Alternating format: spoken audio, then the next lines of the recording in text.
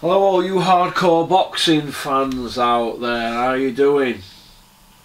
It's Big Porky here, the voice of hardcore boxing and uh,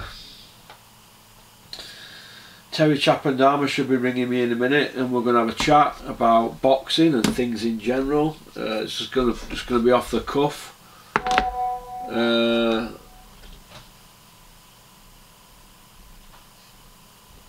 So it's all good positive stuff. It's all good positive stuff.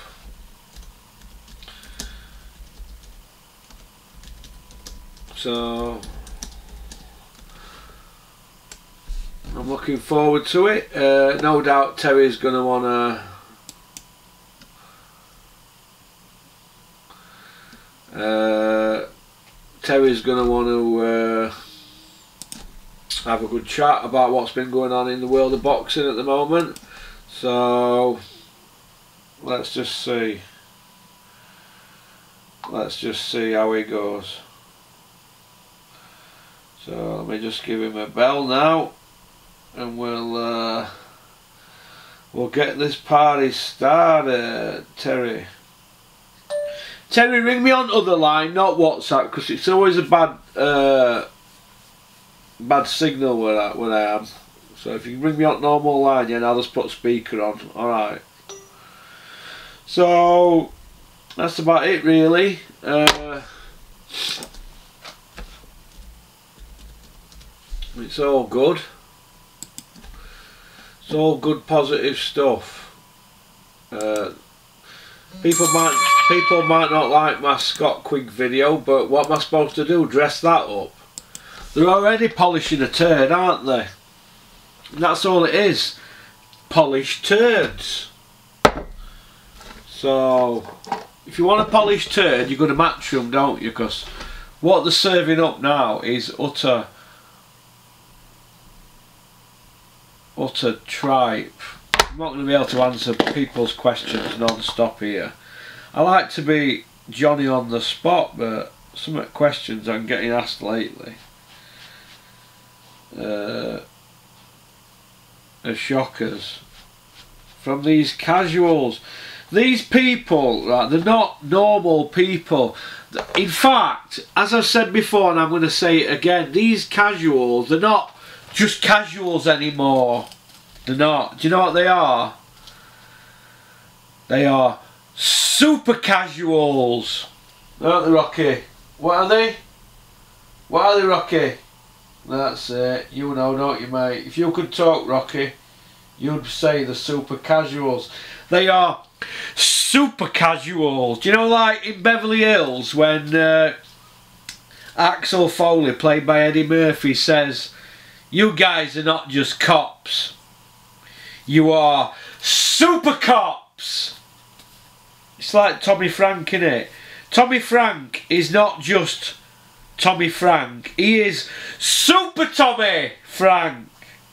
Ray Doyle, Steffi Ball's uh, manager of his gym, is not just Ray Doyle. He is Super Ray Doyle. And that's just telling it as it is. Do you know what I mean? Anthony Anthony Fowler is not just Anthony Fowler the machine. Is Anthony Fowler, the most hated machine in world boxing, in the sport of boxing. But it is what it isn't. You know, we're not going to sit here and talk nonsense about that last night because it was embarrassing from top to bottom. And I notice a lot of people give me a lot of stick about Hughie Fury's opponent. People in the game well, don't worry, I'm not going to tell Peter. But you can only knock out who's in front of you. Is that London's finest merchant banker? Yeah, is it, but... How you doing? Cool boxing fans. Hello, you. You have to get that in, didn't you, Terry? I do it. Hey, how am I sounding? Am I sounding okay? I'm alright, mate. How are you? I'm alright, mate. Uh, you know, the usual is life. Yeah, I know what you mean, mate. I know what exactly what you mean. Yeah. Uh, so what's been happening in the sport of boxing, Terry? Tell me. I just told him, I mate, mate, can you get your phone and put it somewhere flat so I can hear the microphone rubbing against something? Ah. Is that better? Perfect. Right, that's brilliant. Two seconds, hang on a minute. I'm just rolling a four sheeter.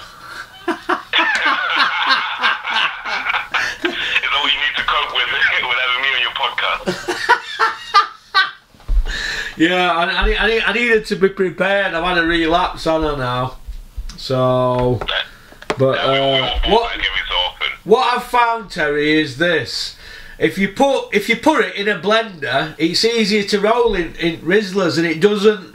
It doesn't. The branches on the twigs or whatever it are, they don't come through Rizzlers. So what you need to do, you need to put it in a blender, one of them magic bullets.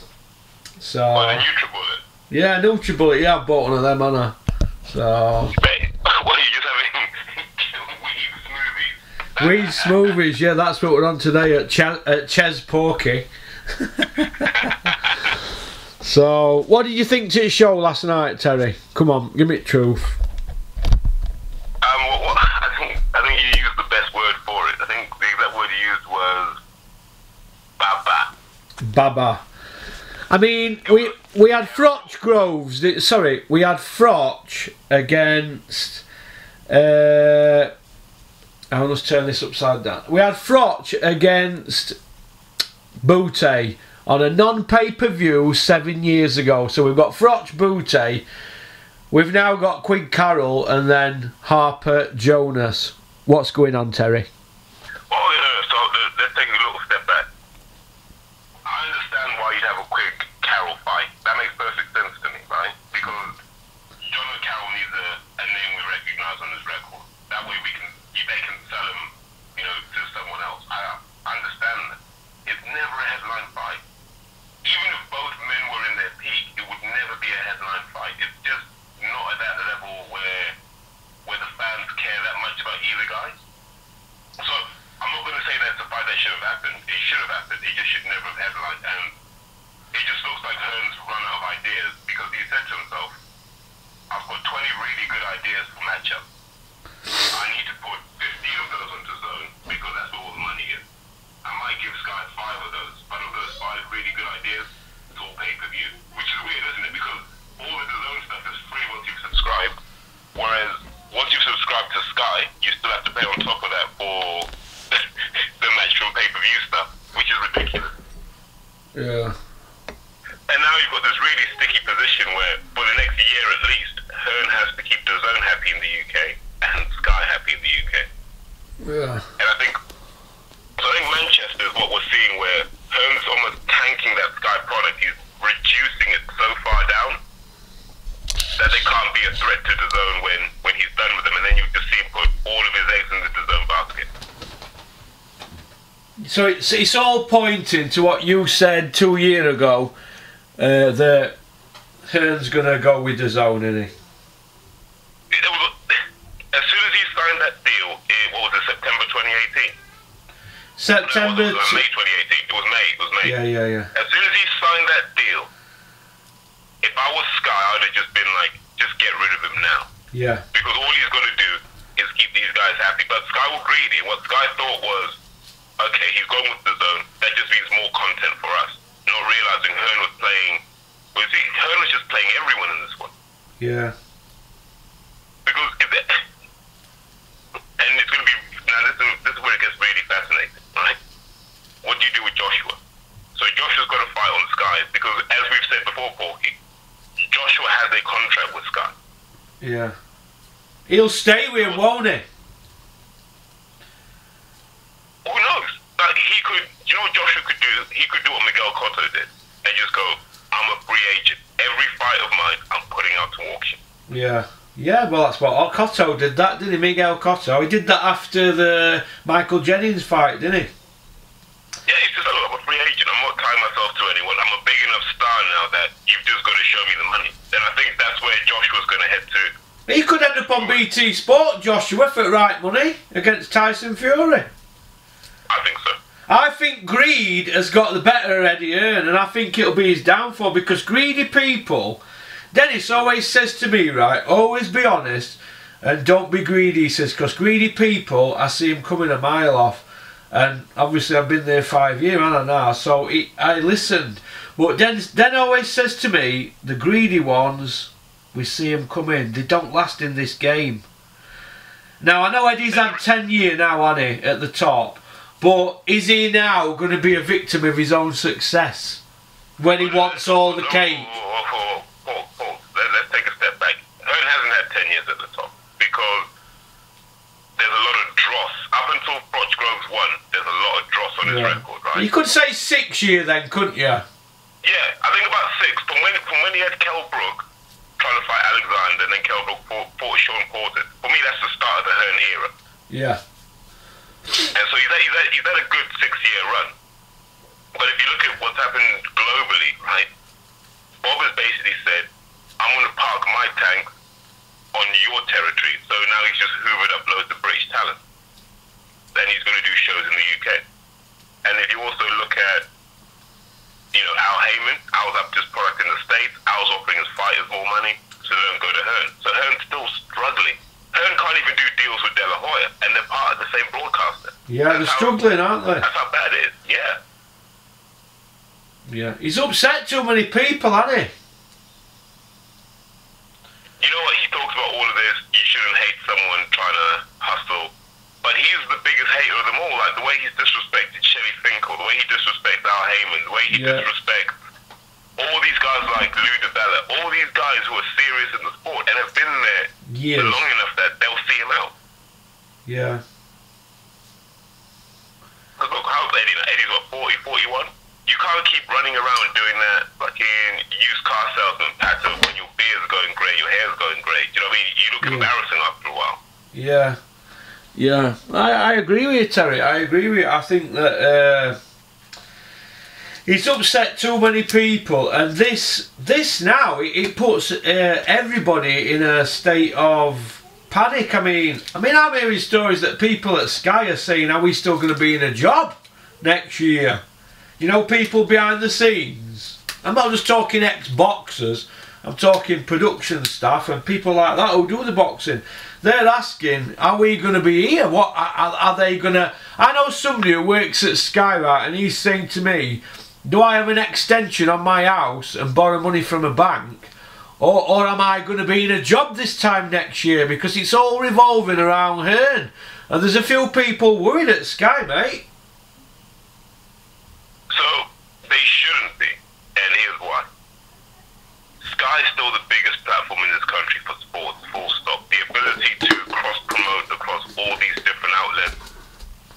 The biggest fear in- for Sky will be if they lose the football. If Sky lose the football, anyone that works for Sky, pack your bags and go. Yeah. That's that's my advice. But until until then, nah. Like Sky, Sky is just a bigger platform than DAZN, and everyone assumes that because DAZN is sitting on a billion, that this is some kind of you know cash cow. But let's take, let's really look at what they've done. They thought they could break America and make enough money doing America, and a year and a half down the line, they realized actually we can't. So now they're just going to go global, which now, what, um, if I'm wrong on this, yeah, because I know you're the numbers guy, Porky, I think they're sitting on around seven or eight hundred million dollars of debt. Right? That's what DAZN is sat on. It's debt. And so when you're sat on that much debt, to then go and expand globally, you're looking at at least another 200 million of debt on top of that. So at what point do they need to start making a profit? Yeah. Well, well, the, well, this is how I think they're going to do it, and I've had a chat with with, with Den about this. They're offering, they're, going to offer this deal if they come to UK, where if you pay up front for a year, you know, like hundred quid or something, you get the full year. Now that's going to be a, like a rescue package to get them to get them back on top in it. You know, offering a mega deal to put Sky out of business. Hearn will get his cut out all that, and feathers will be ruffled, won't they? So, so let, let, let, let's work with your numbers on that. Right, let's just say a million watch Joshua Box, and that's the biggest boxing audience you're going to get in this country, right? Yeah. Right, a million at a hundred million quid. That's at a hundred quid. You got a hundred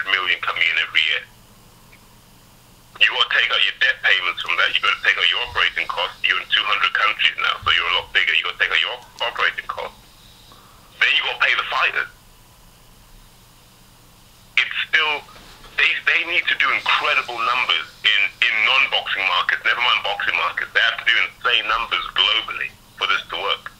Because the more money they make, the more money boxers will demand. Like, there's none of this thing where you where you'll be able to cap the prices like you can in, in MMA, like the UFC have set, set wages. You can't do that. So I'd be I'd be worried if I was the zone because the numbers don't make sense. Just even paying off the debt, never mind the running costs. It's not going to be easy. Yeah, I agree with you, mate. I agree. I think that uh, it's very risky. And don't forget, you've got Barry Hearn coming out saying we've been with Sky 30 years. No, you haven't. They've been with Sky since since the after Frank Bruno, in the mid 90s or something, wasn't it? Yeah. You, you, you, you early 90s, wasn't it? Eubank or something? Uh, you know, probably back to the Herbie Hide days, right? Yeah, mid 90s. But So. they've jumped across. E- Everyone's kind of all these promoters have jumped across between Sky and terrestrial TV. Wherever the money is, promoters go where the money is. Yeah. So it's a bit rich talking about loyalty, isn't it? Yeah. If you want loyalty, get a dog. Yeah, it's, it's, it's made fucking joke. But yeah, that that's the big to- talking point, and I wonder how that's going to affect Dennis with Eurosport now because no matter what, Den gets a lot of stick because his stable's not mega strong, but he always seems to deliver TV, doesn't he? So Den's basically a very interesting dilemma now, isn't he? Like you've got Eurosport, which is probably bigger outside the UK than it is in the UK. And BBC iPlayer uh, with a view to going on BBC.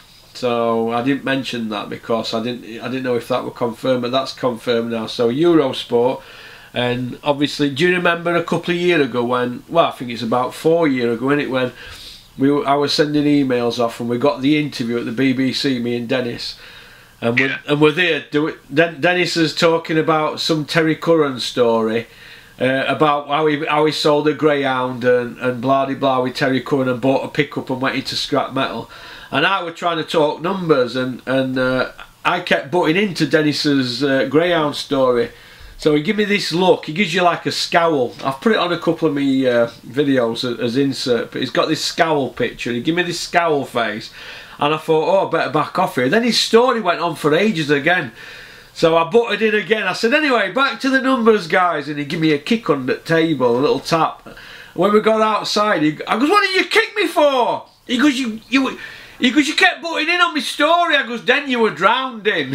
he goes, that story always cracks him up. I says, Dennis, these people are Joshua fans, they're young executives, they're just driven by numbers now. They don't want to hear old stories about greyhounds, do they? And betting and this and that.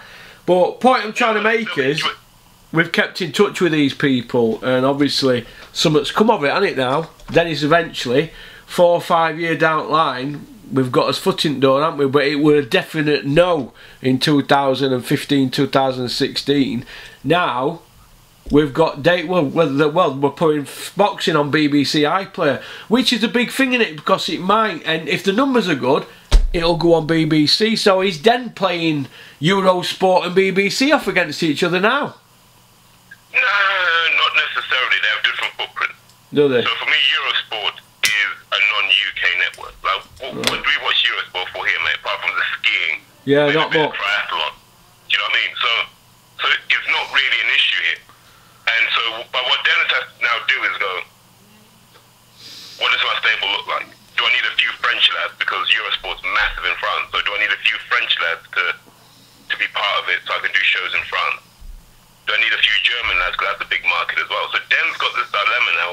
How do you build a stable that satisfies both Eurosport and the BBC? Hmm. And you and I have talked about this before Yeah, you've got to have entertainers. Like, I, I'm not bothered about whether a kid can throw the perfect jab or not. I'm just like, do I want to watch you fight? Do I care about your story? Do I care about your career? And you might just be a, a brawler. So what? But boxing's moved to that point now where skills are great at the top, top, top level. But outside of that, mate, be entertaining. That's how you make your money. You know, the good thing is, though, with BBC, the last person to put a show on at the BBC were Den with Clinton Woods. That was the last ever fight on BBC 2004. So the relationship's still there. Pardon? Was that the Tarver fight? No, I don't think I, I don't think it were a world title to be honest, but I think it were. I'll just have a little look on my thing here. I should know straight away. That's the casual in me. Uh, it was a good fight. Hobson's head of boxing doesn't know. I know, I don't even know. Yeah, it was 2004 though, but I couldn't tell you Clinton's opponent. But I will find out now. Here we go. Clinton Woods. The last fight on the BBC was. Uh, no, I'm not sure. It, I think it was. It, well, he had three fights, didn't he, in 2004? Jason Delisle, Glenn Johnson, or Glenn Johnson. Let me just I have a think it look. was the first Glenn Johnson fight. The first Glenn Johnson, the draw. Yeah, the yeah, Were it a draw at Hillsborough Leisure Centre? Well, if it were, it were one of them three fights. That was I didn't know Dennis obviously then. That was the last boxing uh, uh, on 2004. 2004 So I was it? what, so you what, Porky, you might be seeing Glenn Johnson in this country in a couple of weeks' time. Why? I'm just hearing rumours he might be Isaac Chamberlain's trainer for his next fight. Never. Might be, yeah. Well, that's good, isn't it? That's good that because it Isaac Chamberlain. I like him. Yeah, and and Glenn's the sort of streetwise boxer that you want you want to take advice from because he. If you look at records, I know you like to talk about Carl Froch's record. Yeah.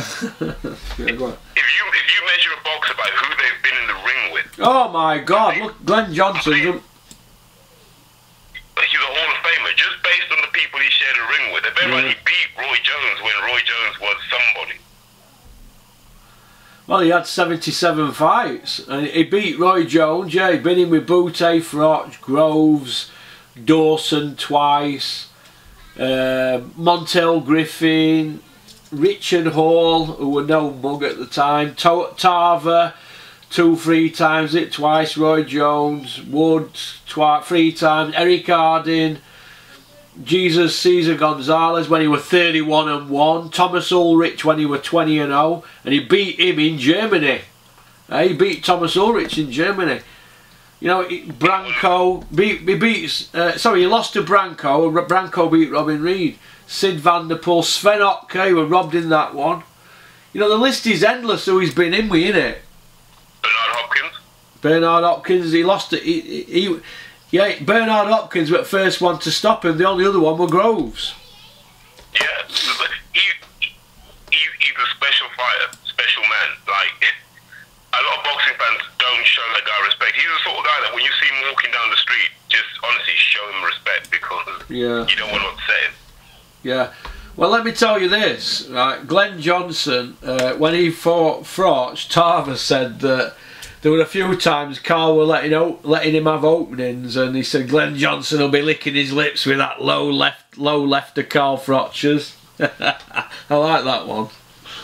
I, I, I, I, to be honest, I thought Johnson was robbed in that fight. Gio, man. Afterwards, he even admitted he got beat, even though one Japanese guy had it a draw. Come on, other two had it for Froch. I had it as a draw. Yeah, you uh, would anyway. You would anyway. You A, a draw or Johnson by a round. Ah, Gio, man. You can't help me, saying, can you? Nah. Anyway, back to the nature at hand. you like that one? Perfect is perfected. I'm gonna let him understand. You like that little uh, Dr. J Snoop Doggy Dogg uh, one liner? Nah, I did, man. I did. Good man. So that we've covered the DAZN situation and Sky and Dennis's Eurosport and BBC see, uh, fat deal that he's just uh, pulled off. What, uh, which is obviously we're hoping is going to attract new signings, isn't it? Because if you've got TV, it does No, no, no, no. This is this is the point. You can't say you hope it attracts new signings, but you've got to go after people. Like remember I told you, Porky, in a couple of weeks' time, Yeah. we've got the the European Olympic qualifiers, right? Yeah. One of you two guys should be there for that. I don't, I, can you do all the dates? Because it finishes on the 24th, and I know you got the show on the 27th. Where's that at? Paris? No, no, this one's in London. Yeah, go on, yeah. Yeah, so, so someone from Dennis's camp has to be there with a notebook, right? So you're just going, hmm, that guy looks good, that guy looks good, and then bang, you just go, right, yeah. where do you want to box? Well, I'll put it to him. I'll put it to him because at the moment my uh, signing average is uh, one and zero with Josh Wale. Sorry, four and zero, four and zero. But it's it's it's one on board, isn't it? That's doing good. Yeah, he's, he's doing he's doing all right, but you know Yeah, he's not the future. You see what I mean? Yeah, And that's yeah, no disrespect to the Wells family, but he's the wrong side of thirty now. So what you're looking for now are four or five boxers, male, female, doesn't matter, yeah. who can carry the Hobson name for the next five years. Well, yeah, we're open. So yeah, it's. Uh, You can't. Well, no, back to the same point. You can't say you're hoping. Like you've. No, I'm open, aren't I? Yeah, well, I can put it to Den, can't I? Say, look, Den, let's go sign this person, let's go sign that person. And I do, mate. I do. Every every time we have a chat, I say, Den, what about this person? I put it to him. Obviously, th- there's a lot of things going behind the scenes. You know how it works, don't you? It's an Yeah, horrible game, in it, Actually, no, but Paul, you got to turn the question around because I know in the time I've met Dan, I know what Dan's like. He, he wants to feel he's discovered the kid, right? Yeah, So, yeah, So you almost got to say to Dan, what do you want for this? And then he'll give you his his, his shopping list. They got to be like this, this, this, this, this, and this. And then you just give him a list based on that, and you say, this is what you asked for. This is who's available. yeah, There you go, mate. Up to you now. yeah, yeah. Yeah, well, let's uh, let's do that. But uh, it's all exciting. The main thing is you've got to have a platform, aren't you? Once you've got a platform or two platforms, you're you're back in game, aren't you?